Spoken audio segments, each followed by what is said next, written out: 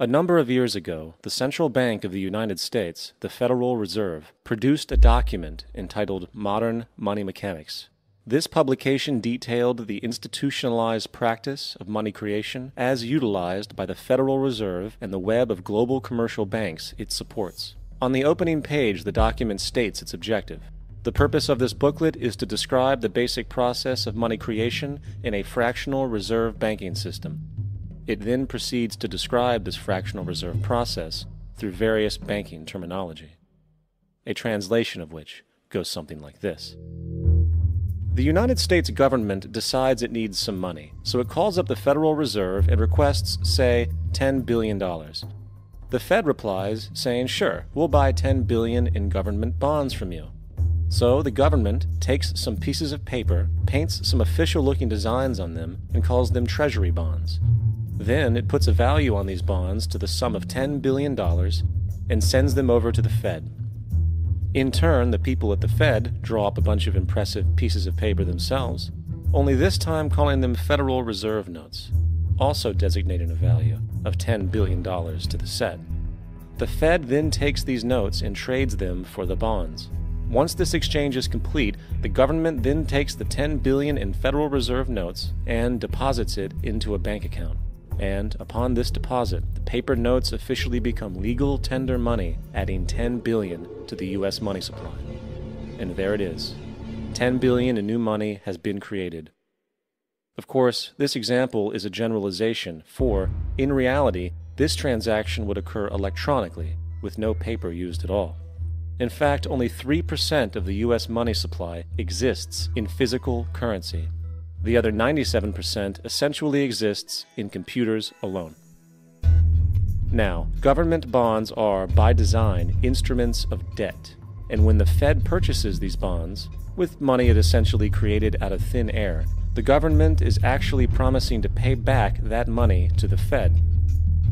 In other words, the money was created out of debt. This mind numbing paradox of how money or value can be created out of debt or a liability will become more clear as we further this exercise. So, the exchange has been made, and now $10 billion sits in a commercial bank account. Here's where it gets really interesting. For as based on the fractional reserve practice, that $10 billion deposit instantly becomes part of the bank's reserves, just as all deposits do. And regarding reserve requirements, as stated in modern money mechanics, a bank must maintain legally required reserves equal to a prescribed percentage of its deposits. It then quantifies this by stating, under current regulations, the reserve requirement against most transaction accounts is 10%. This means that with a $10 billion deposit, 10% or 1 billion is held as the required reserve while the other 9 billion is considered an excessive reserve and can be used as the basis for new loans. Now, it is logical to assume that this 9 billion is literally coming out of the existing 10 billion dollar deposit. However, this is actually not the case. What really happens is that the 9 billion is simply created out of thin air on top of the existing 10 billion dollar deposit. This is how the money supply is expanded. As stated in modern money mechanics, of course they, the banks, do not really pay out loans from the money they receive as deposits. If they did this, no additional money would be created.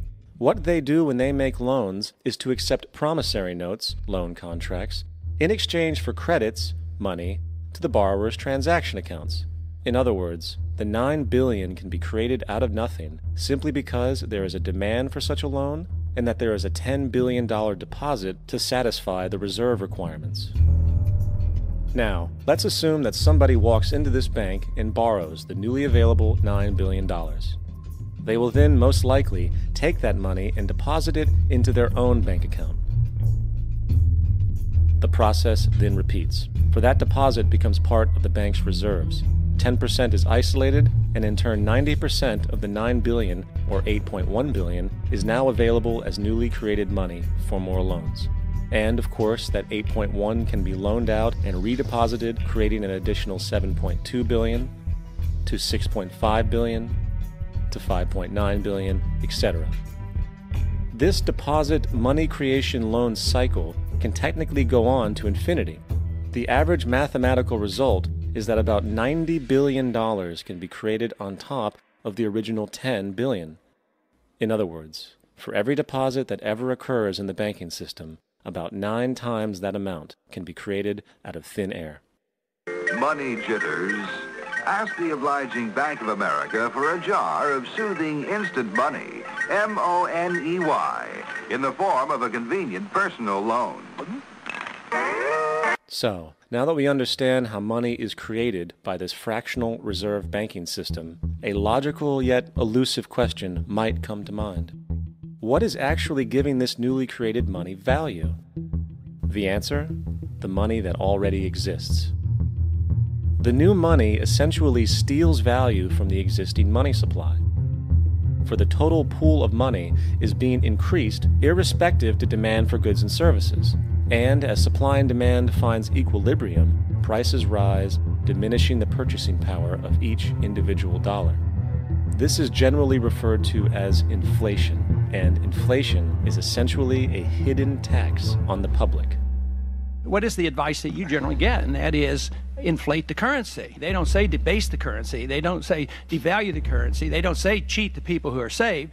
They say lower the interest rates. The real deception is when we distort the value of money. When we create money out of thin air, we have no savings, yet there's so called capital.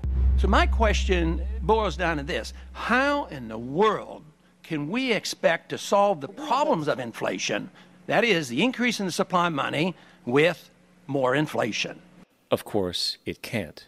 The fractional reserve system of monetary expansion is inherently inflationary. For the act of expanding the money supply without there being a proportional expansion of goods and services in the economy will always debase a currency. In fact, a quick glance at the historical values of the US dollar versus the money supply reflects this point definitively, for the inverse relationship is obvious. $1 in 1913 required $21.60 in 2007 to match value. That is a 96% devaluation since the Federal Reserve came into existence. Now, if this reality of inherent and perpetual inflation seems absurd and economically self defeating, hold that thought, for absurdity is an understatement in regard to how our financial system really operates. For in our financial system, money is debt, and debt is money. Here is a chart of the U.S. money supply from 1950 to 2006.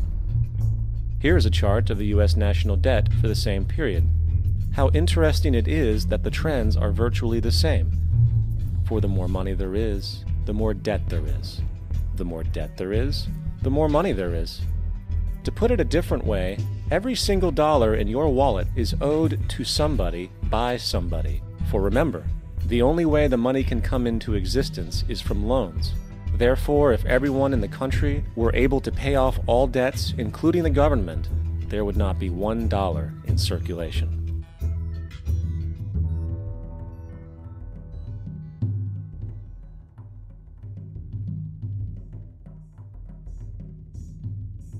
In fact, the last time in American history the national debt was completely paid off was in 1835 after President Andrew Jackson shut down the central bank that preceded the Federal Reserve.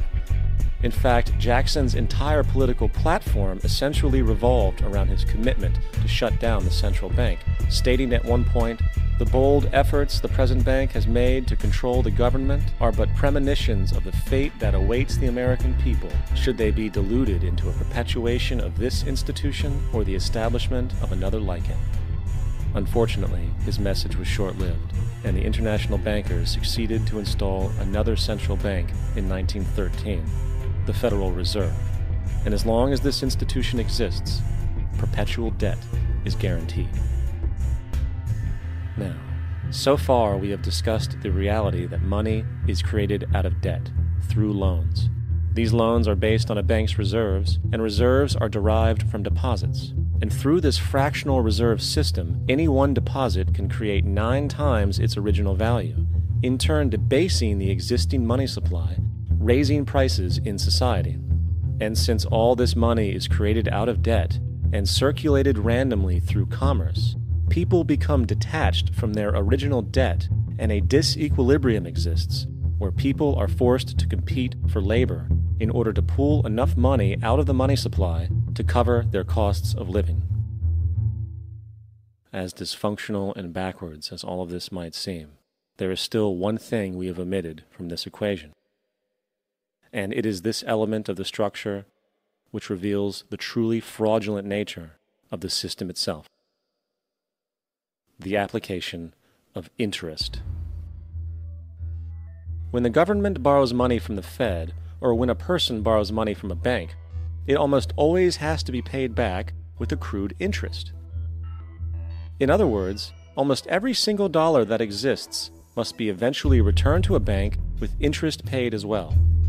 But if all money is borrowed from the central bank and is expanded by commercial banks through loans, only what would be referred to as the principal is being created in the money supply. So then, where is the money to cover all of the interest that is charged? Nowhere. It doesn't exist.